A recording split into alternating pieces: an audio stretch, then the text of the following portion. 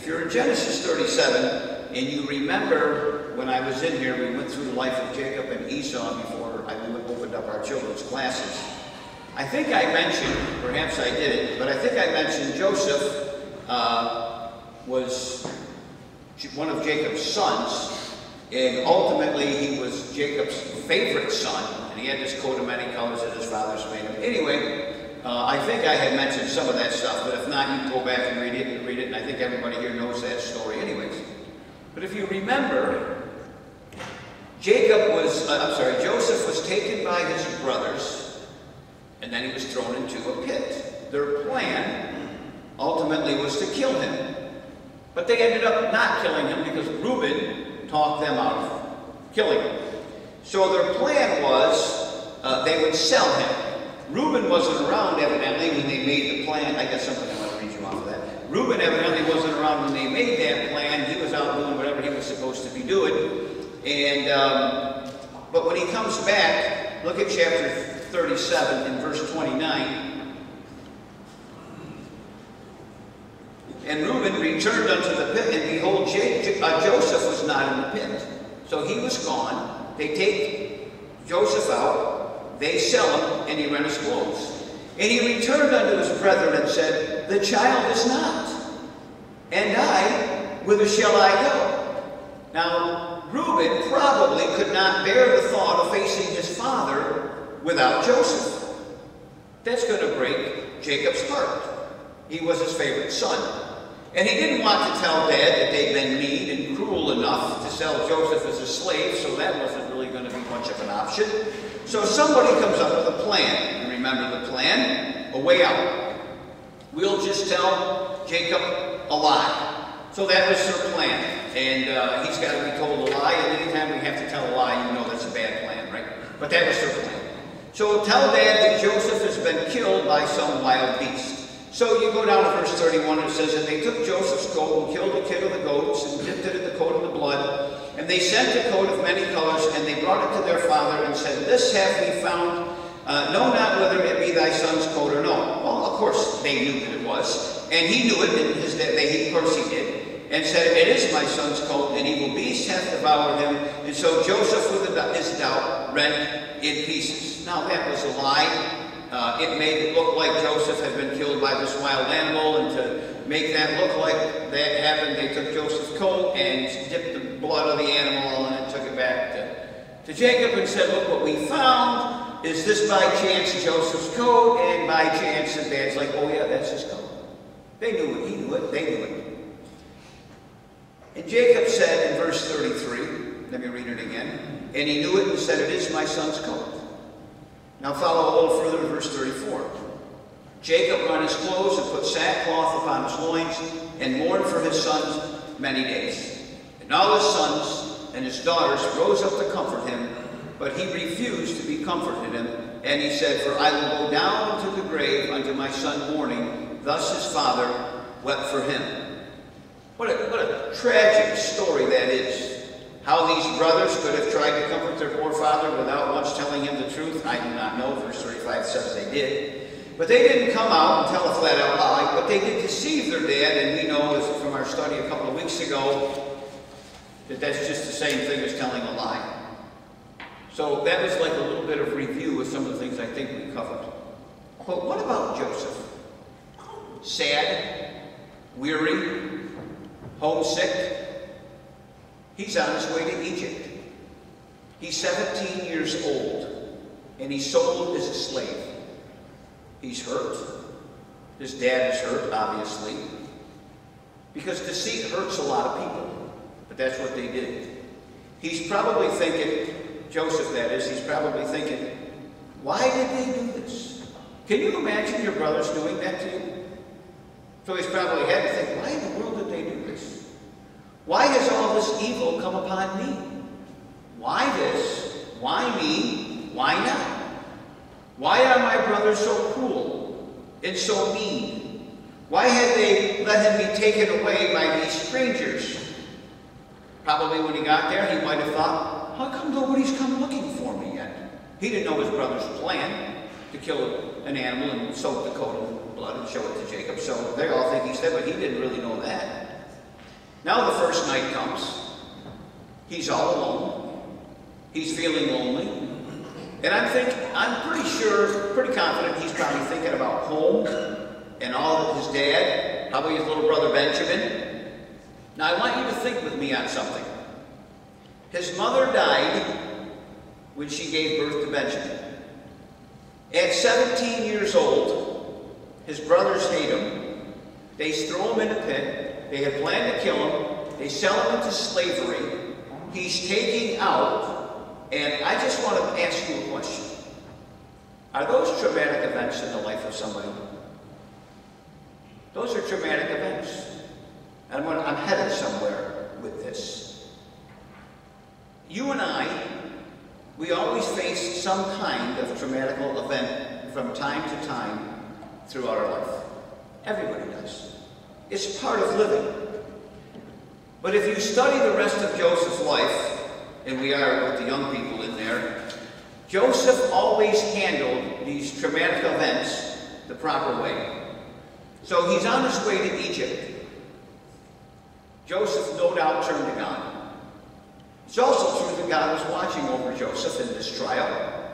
Because you can be sure of this, God is always with us even in our trials. Remember what he said, that the author of Hebrews said, uh, he will never leave us nor forsake us. But in his providence, this sad journey into slavery, this is this you would have not seen this except we have hindsight, which is 2020, was the best thing that could have happened to Joseph. But I can promise you, when this was going on in his life right at this time, he's not saying, boy, this is the best thing that's ever happened to me. That's not what he's thinking. But this is going to turn out that way. And though Joseph didn't understand it at the time, God was using these events, using his brother's unkindness, to lead him to a great future which otherwise he would have never known. Now, you've heard me say this multiple times in our church this year. That's the hidden hand of God. That's the providential hand of God at work in the life of this young man. God does that. He brings great blessings and happiness out of something that for a while seems very hard to bear. God leads his trusting children out of darkness and he leads them into light. So here comes Joseph into this country he'd never seen before, did not know one person there, not knowing what the future held, but he did know who held the future. Now, God specializes in bringing good from bad. We've just got to learn to trust God. And we got to understand that God's hand is at work. After this, now he's in Egypt. You probably know the rest of the story. Well, the Ishmaelites, they need to make a buck. So they decide they're going to sell Joseph. And they sell him to a man by the name of Potiphar. And he ends up in Potiphar's house. And everywhere Joseph went, he always had a good spirit, he had a good mannerism, everybody liked him, everybody was drawn to him. And so as, as time went on, a little bit of time goes on, in Potiphar's house, Potiphar trusting him more and trusting him more, and pretty much just lets Joseph move into his house almost and says, you know, you take care of everything that needs to be taken care of it's not long. He's lied about by Potiphar's wife, and she tries to have an immoral relationship with him, which he would have nothing of, that which is smart of him.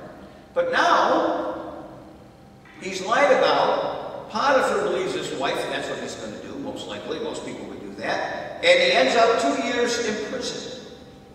And he was an innocent person. That is just another traumatical event in his life because they come. Now, I want to mention some things. Listen. His mother dies.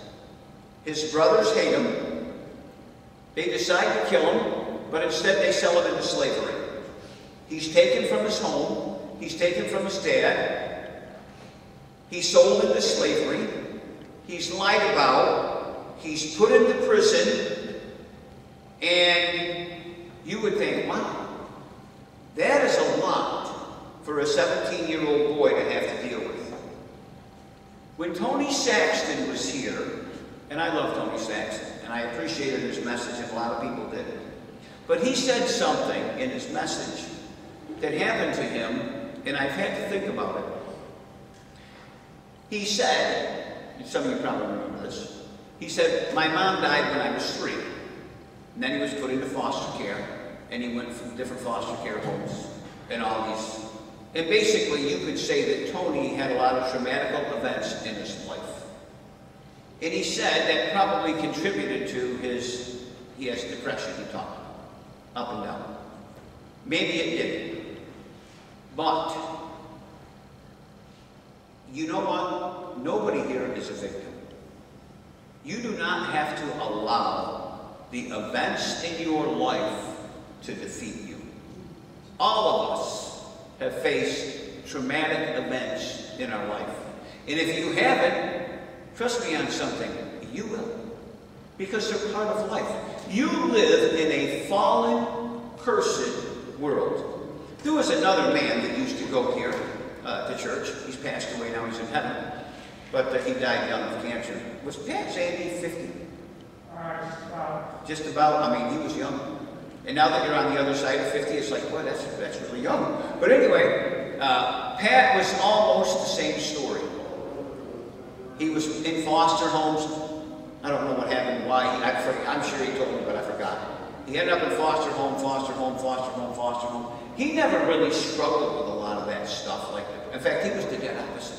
Man, he was full of energy and bubbly and just to go all the time. He was dead. As many of you know, bad, never bad. But all I'm trying to say is, you cannot allow. So Joseph, if, would you agree with me that Joseph had a lot of traumatic events happen in his life? Did he allow those to destroy his life? No. He, even in prison, he made friends with the guard, he made friends with the prisoners, the butler and the baker especially, and he, he was even put in charge. He always had a good attitude. So, and what I'm trying to tell you in me tonight is this, that no matter what the traumatical experiences of our life are, we can still have a good attitude. I cannot control my circumstances. Brittany, that baby looks like it's got a mohawk from here. I gotta tell you. I probably shouldn't have said that. Man, she really does. Anyway, uh, I cannot control my circumstances in life. But I can control my attitude in all of my, except I can't control things when I see it. But I can control my attitude in all of my circumstances in life and so can you. You can't walk around, woe is me, woe is this, woe is that, I got the worst boss in the world, maybe. But you don't have to be the worst employee in the world. I got the worst teachers in the world. Well, maybe, but you don't have to walk around and say, oh, well, I got the, you know, that's not true.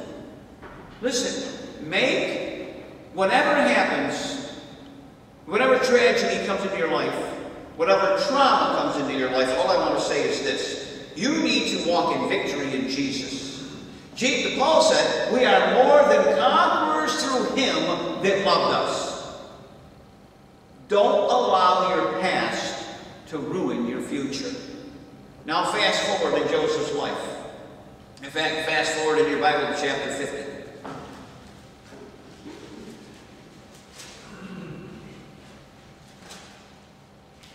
And there's a lot of, about Joseph between where we were and to where we get to here.